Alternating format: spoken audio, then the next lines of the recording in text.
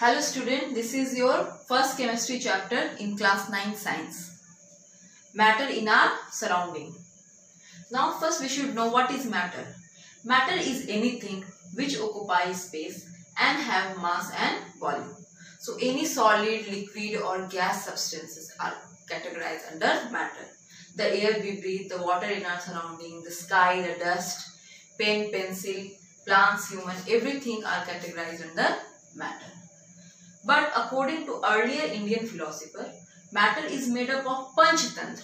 And these Panchatantra are air, water, earth, sky and fire. But according to modern scientists, the classification of matter can be based on physical property of matter and the chemical properties of matter. That means matter consists of various physical properties and chemical properties in it. So basically in this chapter you have to study about the physical properties of matter. So we will discuss point wise what are the physical property of matter. The first is matter is particulate and not continuous. Second one is particles of matter are very very small. Third one is particles of matter have space between them. Fourth is particles of matter are continuously moving. Fifth one is particles of matter attract each other. Sixth is matter exists in three different states that is solid, liquid and gas. Seventh is matter can change its states in different conditions like change in temperature, change in pressure or any other condition etc. So we will discuss each point with the help of some examples and activities. The first physical property as I written here matter is particulate and not continuous. What do you mean by continuous? Continuous means matter is not a single unit but it is made up of many units and these units are called as particles. That means matter is made up of millions of particles as shown in the figure here. You can see whether it is solid matter or liquid matter or a gas matter, every matter contains particle in it. They are made up of millions of particles. But the arrangement of particles in solid, liquid and gases are different. As we can see in solid, the particles are very closely arranged with each other and there is no space between the two particles. Hence, the force of attraction between the particles are very strong and that is why they are very compactly arranged. But if we see in the liquid, the particles are very loosely arranged here and the space between the particles are also very much as compared to the solid and this is because here the force of attraction between the two particles are very low and that is why they are loosely arranged. Now we can see in gases. Here we can see the gases particles can move in different direction. Here also the arrangement of the particles are very loosely uh, arranged. Mm, and the space between the two particles are also very much as compared to the liquid. And uh, why it is so? Because the force of attraction between the two particles are very very big as compared to the liquid. So uh, the first point as we discussed is matter is made up of particles. This also we can prove it by taking some example. So I have an example here. So here what we have to do, what we'll do is we will take 100 ml of beaker and we will fill it with half with water and we will mark the level of the water here. Now we will add some salt particles in the water and we will stir it continuously with the help of the glass rod. After some time we will see that the there is no salt particle in it. The salt particles disappear in the solution. And also we will see that there is no change in the level of water. means the water level doesn't increase. So what is happening here?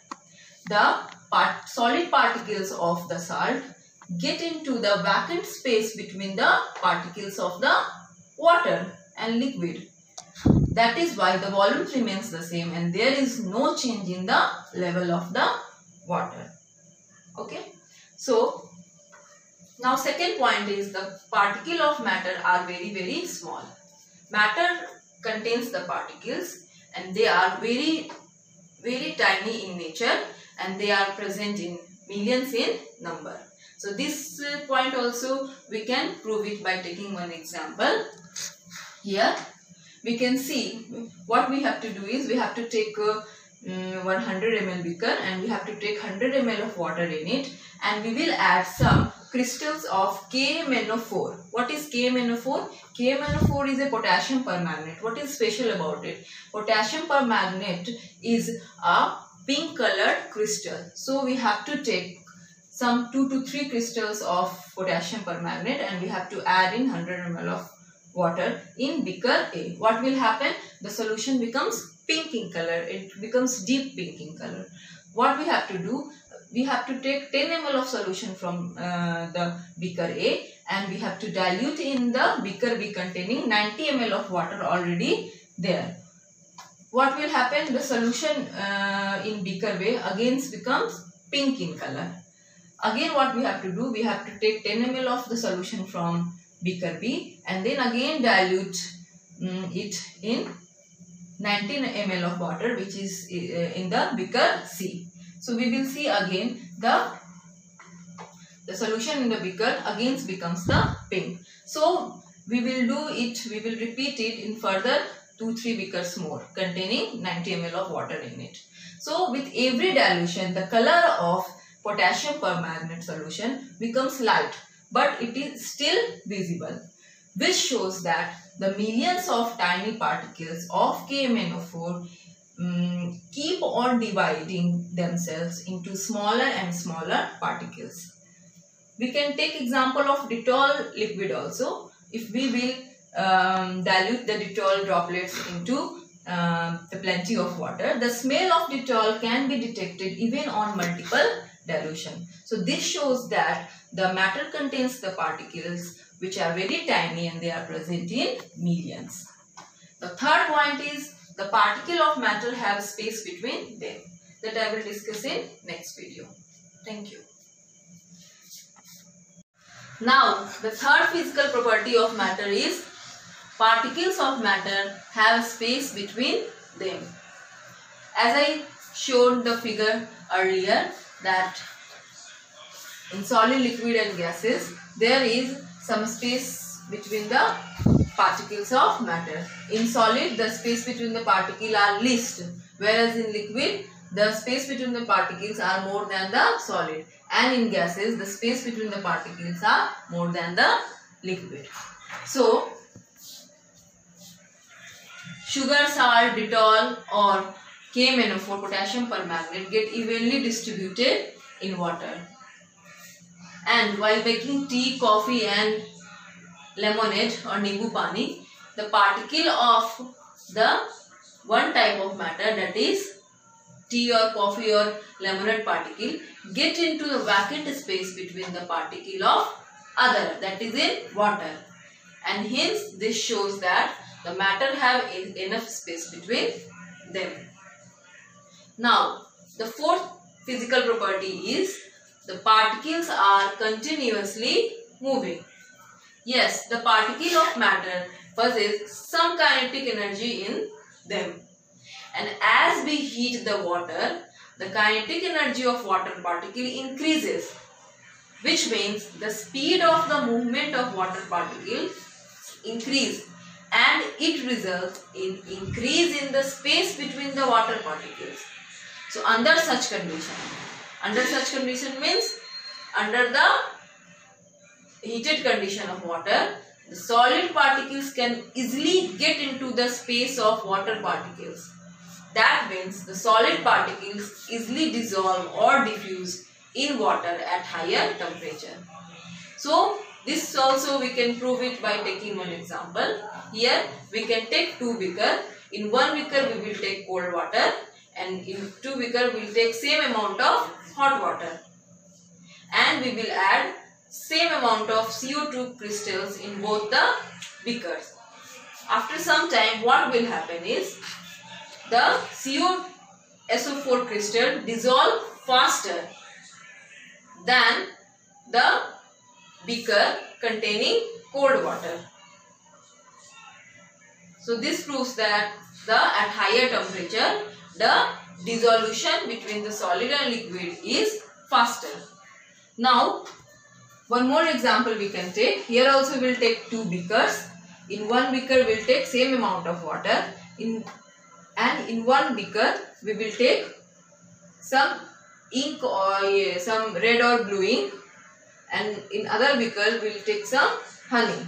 We will keep keep them undisturbed. After some time we will see that ink diffuses faster than the honey. It is because the size of ink particles is smaller than the size of honey particle. That is why ink diffuses faster in water and honey diffuses slower in water. Now you should be knowing what is diffusion. Diffusion is nothing but dissolution. It is the intermixing of particles of two different types of matter of their own. Here what are the two different type of mat uh, matters? Water and ink are two different type of matters and intermixing of these two uh, different types of matter particles of their own is called as diffusion.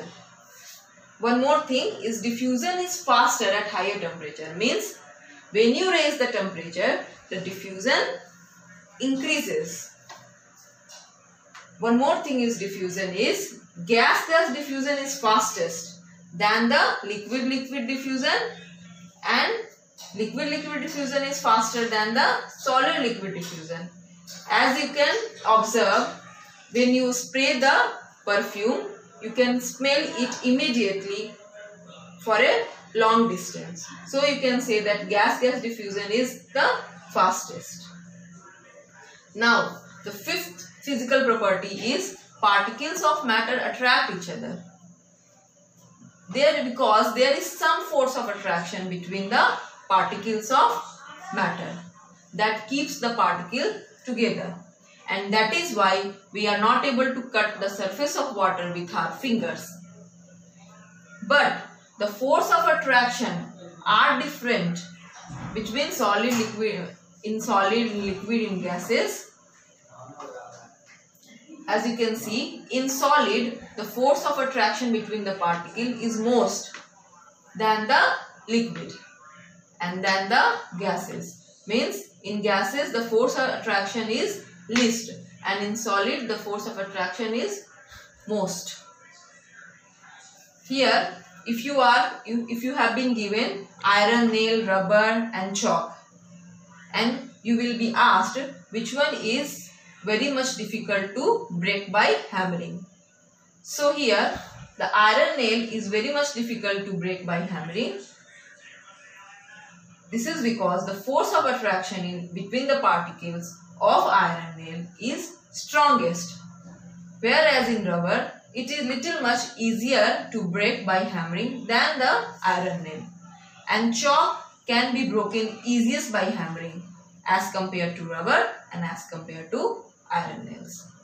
So these are the five properties and after that you have some questions to note down that you will do as your homework.